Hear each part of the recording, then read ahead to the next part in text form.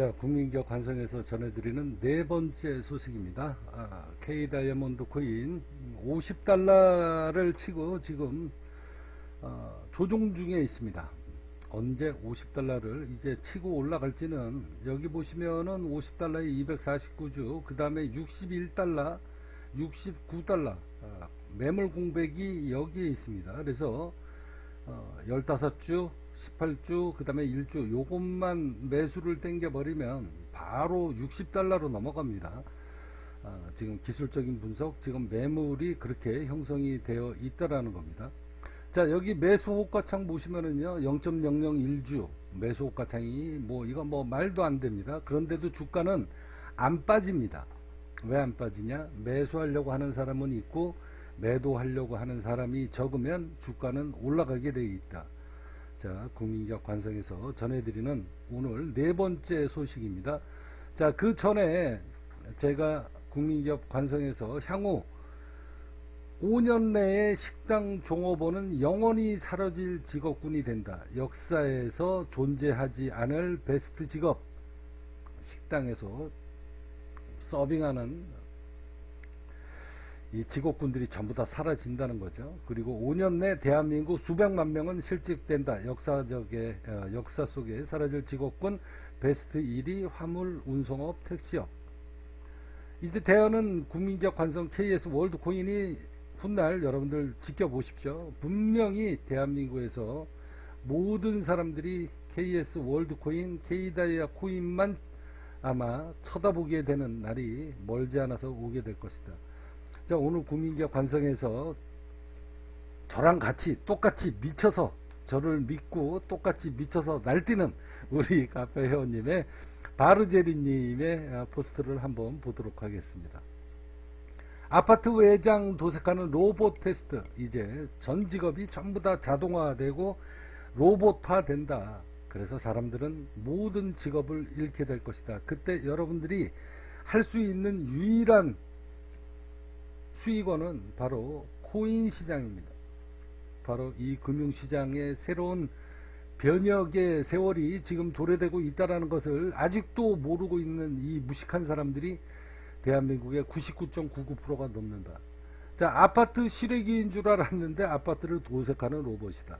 자, 이게 아파트만 이런 게 아닙니다. 빌라, 원룸 할 것 없이 전부 다 이제는 여태까지는 다 사람이 손으로 다 페인팅을 했는데 어, 이제는 이제는 전부 다 로봇이 하게 될 것이다.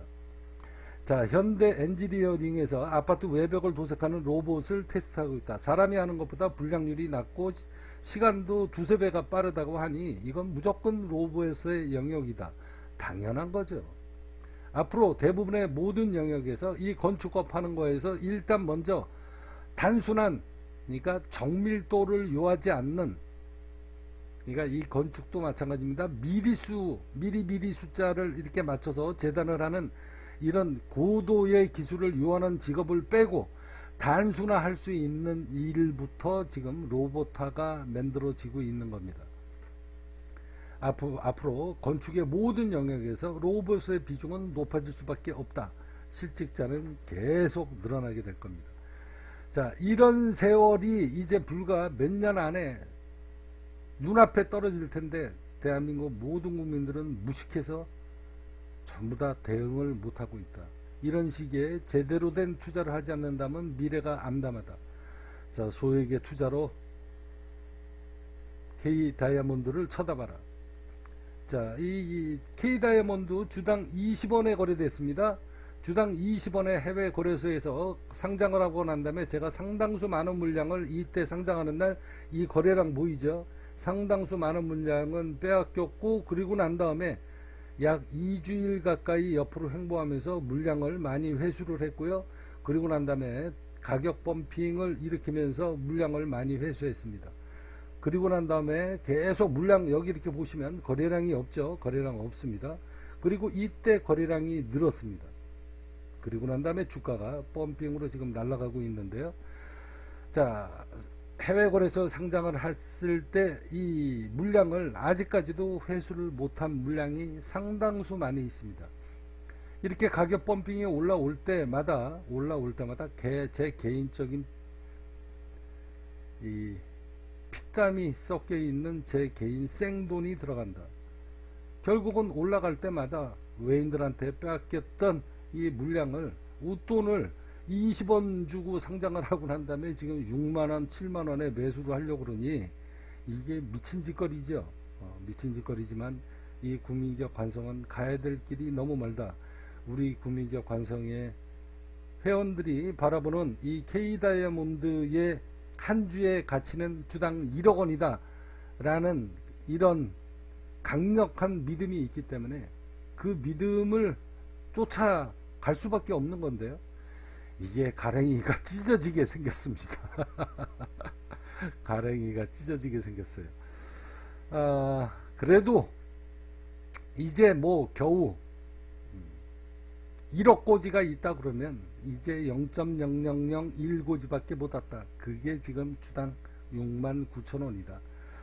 자, 국민기업 관성인데요. 이제 여러분들이 해야 될 일은 뭐냐면 앞서 이 바르제레님이 인생을 굉장히 똑바로 보는 겁니다. 이제 모든 직업이 모든 직업이 사람의 노동력으로 단순화를 해서 여태까지 밥벌이를 해먹고 살았던 모든 직업군이 앞으로는 전부 다 로봇으로 바뀐다. 여러분들은 뭘로 밥벌이를 할 겁니까? 이 국민기업 관성은 그 미래를 환하게 보고 있기 때문에 K 다이아몬드, KS 월드코인을 상장을 하게 된 겁니다. 바로 대한민국 모든 국민들이 잘 먹고 잘 사는 그런 꿈의 기업을 만들고자 하는 이 국민기업 관성의 기업 이념입니다. 국민기업 관성.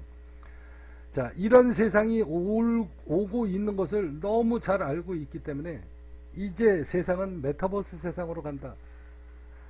그 세상 속에서 여러분들은 생활 활동을 하고 노동력을 퍼부었고 노동력의 대가로 코인을 받게 되는 세상이 오게 된다. 이게 바로 앞으로 웹3 그리고 메타버스 세상이다. 여러분들은 이제 밥벌이를 해먹고 살 게 그것밖에 없다.